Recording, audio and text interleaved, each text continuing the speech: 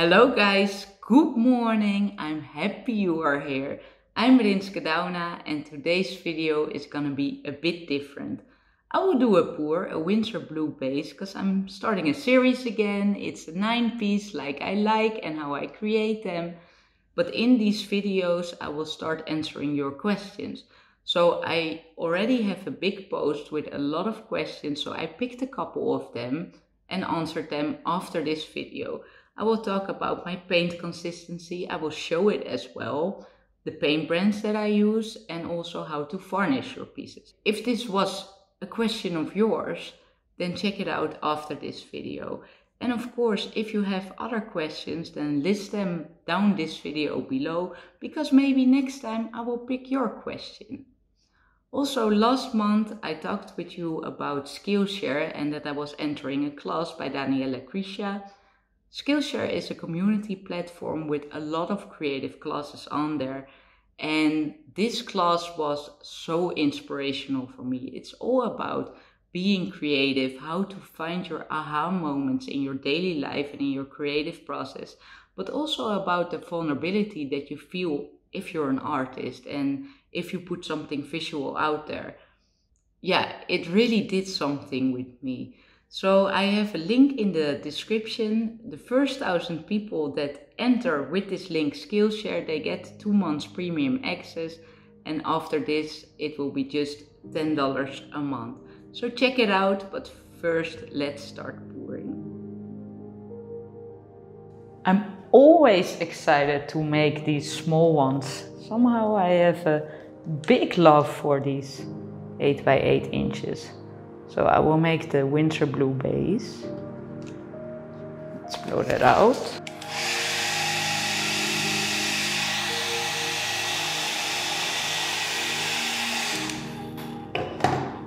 And let's cover the sides. I will probably uh, paint the sides later because the winsor blue is a transparent color, so you see that on the on the sides. Yeah, so maybe for the next ones I already paint the sides. I think that would be a good idea. Okay, and I'm starting with turquoise. Some ice blue, sky blue. And I will use uh, a red.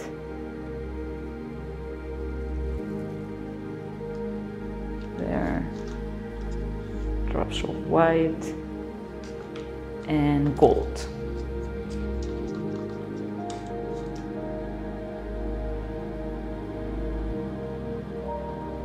Okay, and let's pour the blue around it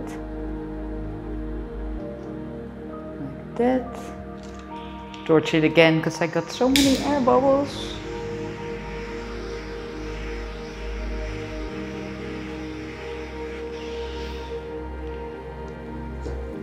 All right, let's start blowing the blue over the colors and I always have my blow dryer on low.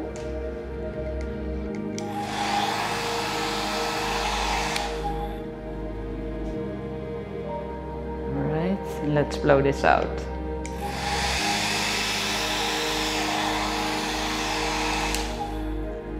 I will stop here already because this lacing here is gorgeous Oh, that's beautiful. Okay. But I will torch this here in the middle to see, yeah, if some gorgeous cells pop up. And they do. Wow.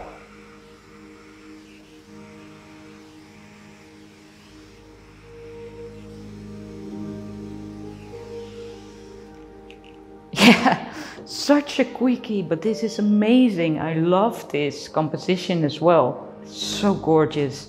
I really hope this lacing stays here.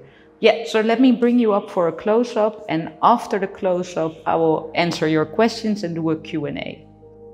Look at this.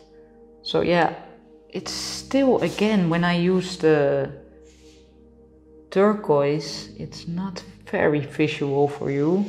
Because it feels like this is, yeah, just blue with some touches of color, but there's way more color than you see on the video now.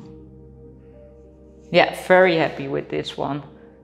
I will show it when it's dry on my Instagram, so I think then you really can see how it looks. Okay, well, let's get over to my Q&A. Alright guys, so it's question time. I promise you in the Winsor Blue series I will start answering your questions that you listed under my posts on YouTube, Instagram and Facebook.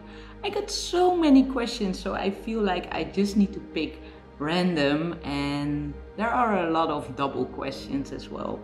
So yeah, let me show you first my phone. Uh, I definitely paint, don't I? Probably yours looks the same. So let me go to, uh, to my YouTube. Okay. All right. Hi Rinske. This is by Alexia.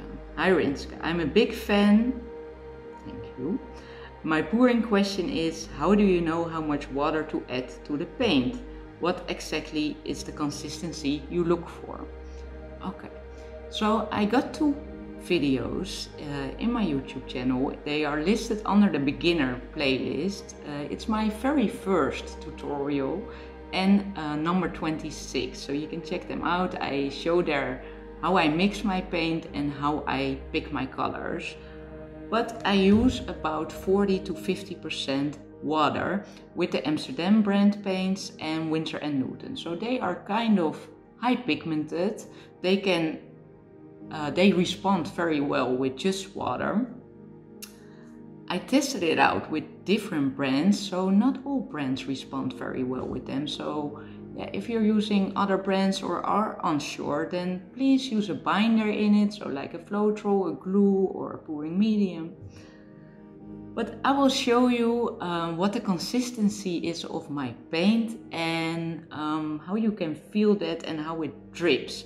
So this is a great test. I do it as well in my Skype workshops to see from distance if the paint is right for the Dutch pour. So the paint that I mix are perfect for the Dutch pour. So that's not necessarily great for other pours because for Dutch pour it's kind of more liquid.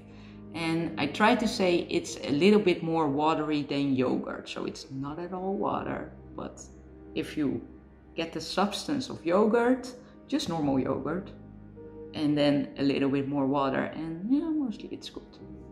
Okay, next up. Here, by Antonella. Do you use varnish to gloss your pieces? I love a video about that. Alright, well, a video about that. It's not that interesting. It would take one minute. But I can tell you, so what I use is spray varnish. For the small ones, I always use gloss, so from 8 by 8, 12 by 12.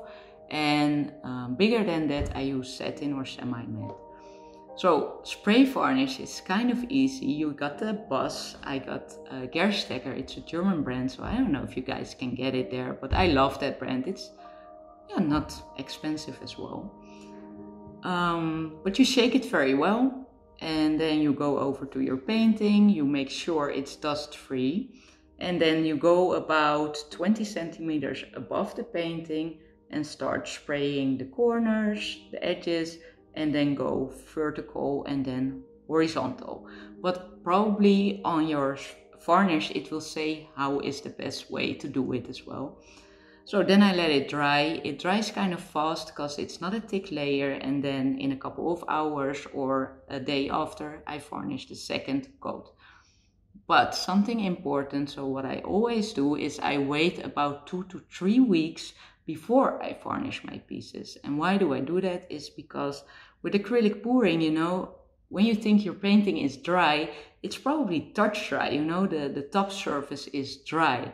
But under that it's it might still be drying. So yeah i always make sure it's fully dried in so the seal is perfect and won't mix with the particles of the paint you know? Okay. Next. I just pick uh, good Rinske. i love your work you're very inspirational well yes Oh, That was such a weird reaction. Well, yes. Well, yes. Well, thank you. Okay. I I want to know if you have days where your pours are all terrible and you end up scraping the paint off the canvas.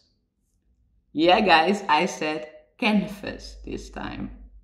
Not canvas, I said canvas. Okay. I'm having fun in my own here. Uh, yes, I do have that a lot. Uh, so let me tell you about last week. I did about seven paintings. I all scraped them. I didn't like them at all. But I do store my uh, scrape off paint because most of the time it turns out a gray color. But then I can yeah, touch this color with some blue or some red, you know, to make it a dark, interesting color for bases. So I don't waste it. But yeah, I, I, I am kind of a perfectionist, I think, when it comes to pouring. And that's maybe sometimes kind of hard because you always have the element of surprise there. Um, but yeah, I do. And I do have a lot of footage as well on my camera that I never showed you guys because I'm just not fully content with what I made there. And I don't want to show it, but it might be good to show it once in a while. So I know that. But I do have some of those videos that I failed or it didn't work out how I liked. Okay, so these were the questions of today's video. You can still list them under the thread that I have on my YouTube channel and on Facebook and Instagram. Um, yeah, so next video of the Winsor Blue series, I will start answering more questions I want to thank you so much for watching and I hope this was very helpful for you. If you haven't subscribed yet, please do so. You can click on the notification bell as well and I love to see you next time. Bye guys.